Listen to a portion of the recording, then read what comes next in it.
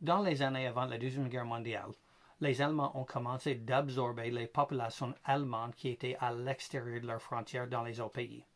Dans le pays de Tchécoslovaquie, il habitait une jeune fille de souche allemande qui s'appelait Maria Ann Hirschmann. Cette jeune fille, surnommée Hansi, a grandi dans une famille monoparentale parce que son papa est décédé lorsqu'elle était jeune. Lorsque les nazis ont arrivé, ils ont remarqué tout de suite que c'était une fille brillante et l'ont inclus dans le mouvement de jeunesse hitlérienne. Elle trouvait dans la jeunesse hitlérienne non seulement une cause, mais un sens d'appartenance.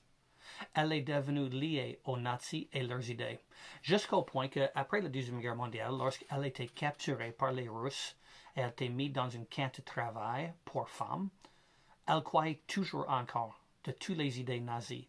Elle croyait encore, malgré le fait que les idées nazies n'ont pas marché, que les Alliés avaient gagné la guerre. Ça l'a pas aidé à changer l'idée non plus en voyant comment les filles allemandes ont été traitées par les soldats russes. Alors, après une certaine période de temps, elle s'est échappée et elle est partie vers l'ancienne frontière de l'Allemagne avec un enfant orphelin qu'elle a trouvé. En traversant, elle été capturée par les Américains, attendant qu'elle va être traitée de la même manière qu'elle a été traitée par les Russes elle était fortement étonnée à voir que l'attitude était complètement différente chez les Américains. Pour la première fois dans sa vie, ses croyances dans les idéaux nazis ont commencé d'être ébranlées. À cause du fait que les Américains l'ont donné des meilleures idées? Non. À cause du fait que les Américains avaient une attitude complètement différente qu'elle avait expérimentée avant. Ils l'ont aimé, ils l'ont accepté, ils l'ont traité avec du respect, malgré le fait qu'elle faisait partie de leur ennemi.